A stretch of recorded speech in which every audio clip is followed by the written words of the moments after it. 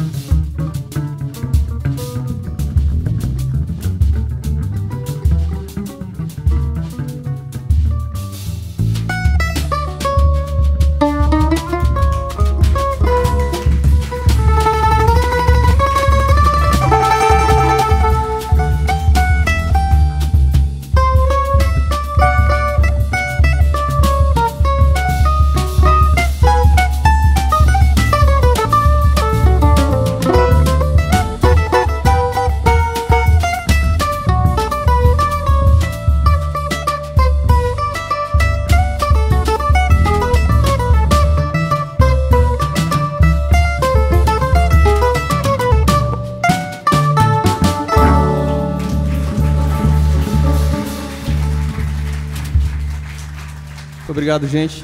Foi Lamentos do grande Pixinguinha. Apresentar logo aqui, pessoal, na bateria, Michael Rodrigues.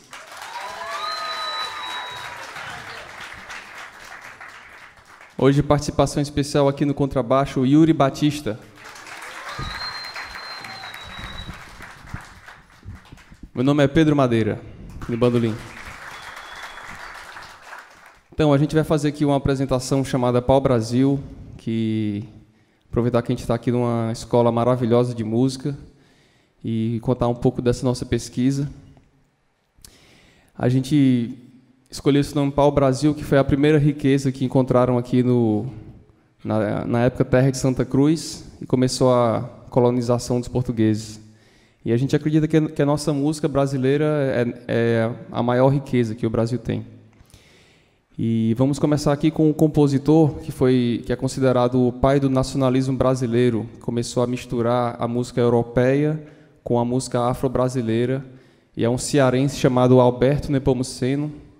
É, muita gente não conhece ele, mas ele foi um cara muito importante. E nessa música que ele fez, misturando isso, chama-se Dança de Negros. Posteriormente ficou chamado como é, Batuque, integrando uma série brasileira mas a gente vai fazer aqui o prelúdio da suíte antiga. E aí a gente vai contando um pouco mais é, no decorrer do, da apresentação. Muito obrigado.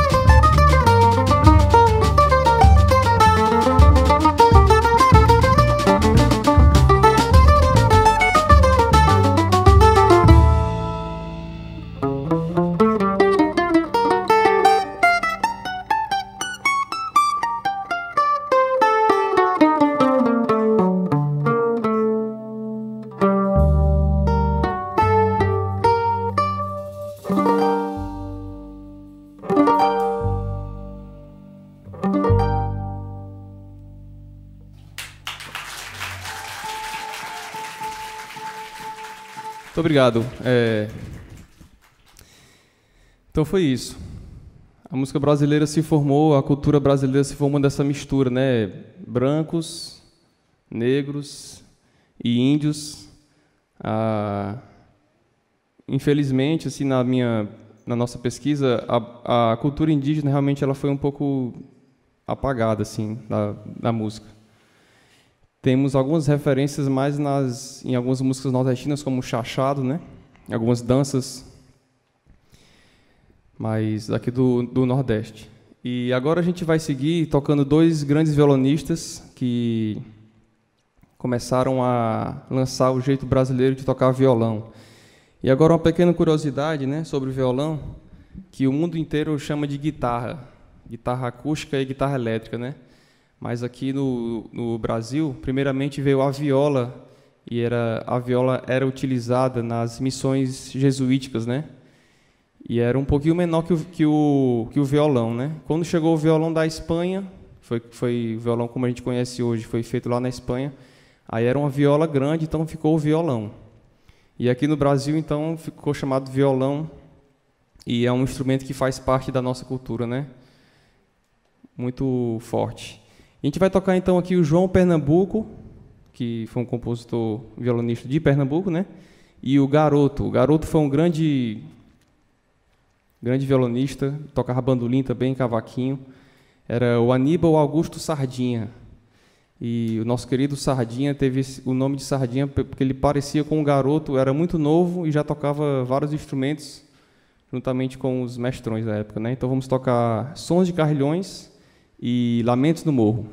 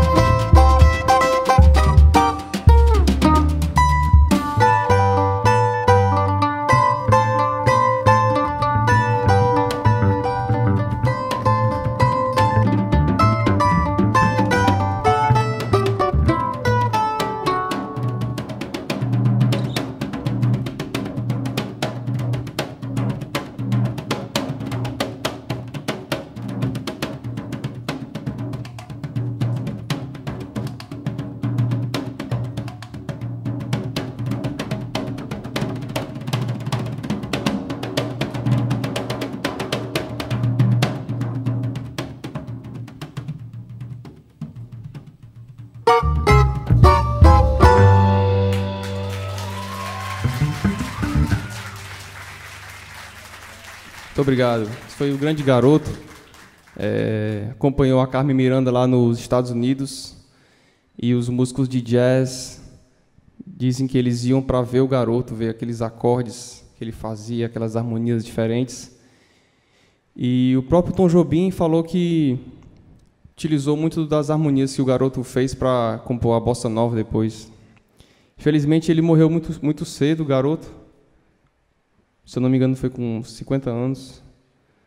E, é isso. Vamos continuar agora fazendo uma, uma pianista muito importante, que é a Chiquinha Gonzaga. E recentemente eu comecei a pesquisar mais a vida dela. E aproveito para divulgar aqui que no dia 11, agora, o dia 11, um sábado antes do Dia das Mães, a gente vai fazer um concerto com a Orquestra Popular do Nordeste chamado Mãe Música. Vamos tocar Chiquinha Gonzaga e outras compositoras mulheres né, brasileiras.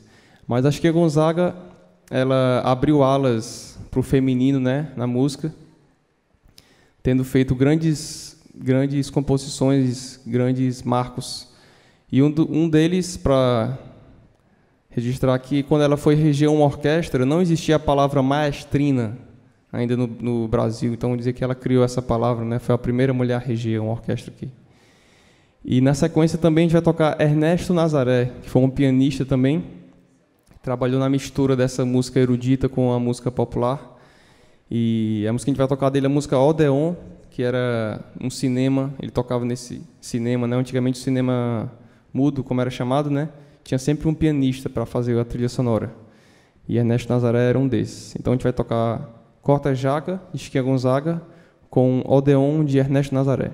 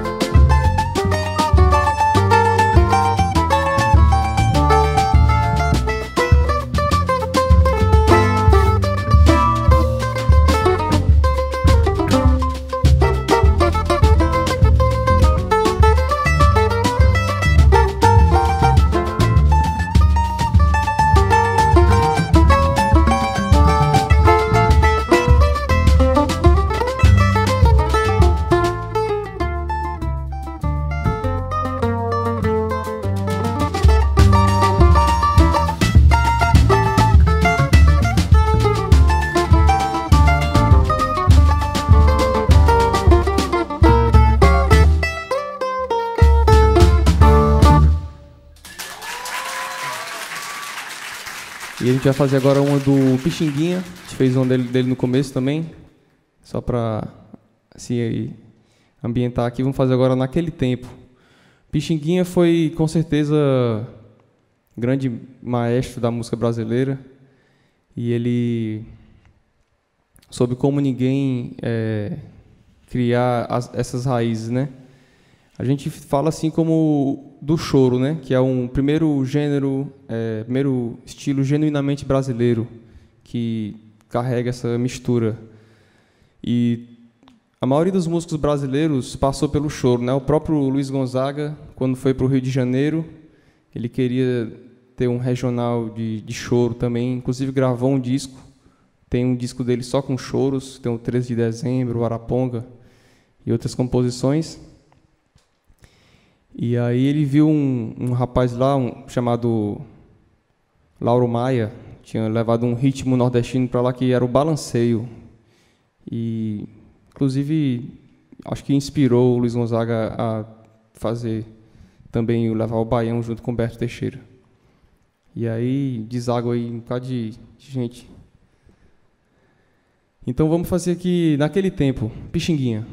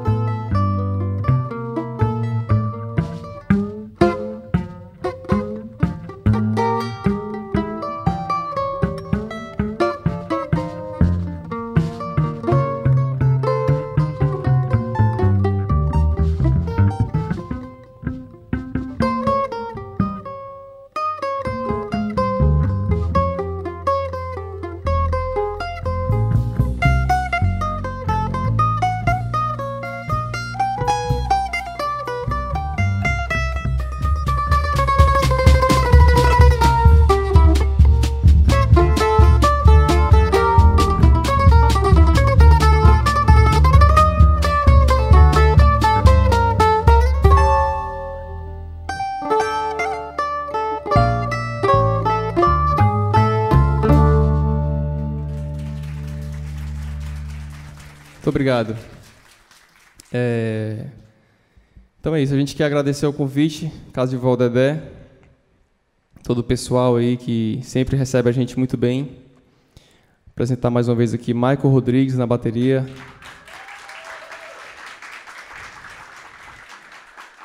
Hoje no contrabaixo Yuri Batista. O nome que é Pedro Madeira. Na produção, arranjos gerais, Andréa Pires.